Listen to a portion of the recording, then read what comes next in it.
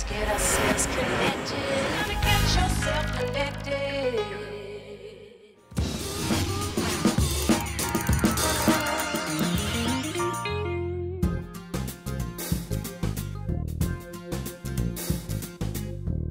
Well, if you're feeling artsy and want to take advantage of some of the photos you've taken with your iPhone, you can add a dash of color. It's an app that you can uh, download and work with some of the photos that you've taken. You can go in, choose the picture.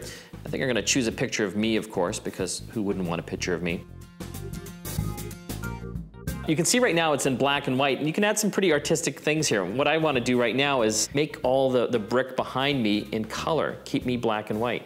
You can see as I'm moving my finger or the finger paintbrush, it's actually bringing out everything into color while keeping me black and white. That is, of course, until I smudge my, my face if I wanted to.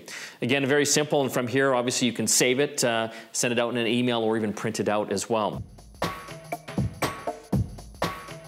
Another fun color app I came across was Color Change. This one's got some practical applications. You launch it, you can take a photo from the home screen or select one in your camera roll. And uh, this is a, a, picture of the, uh, the wall behind me. And what I can do is I can use the Magic Brush tool, hit that, select Magic, and then simply click on it, and uh, presto kazinga, it changes the color of that particular wall. I can go into the paint can here and actually select some different uh, hues and colors as well. And uh, again, it gives me a really clear idea of what that would look like uh, if I were to paint it a different color. Again, it's called Color Change and Dash of Color, some fun apps to adjust the colors in the photos that you have on your iPhone.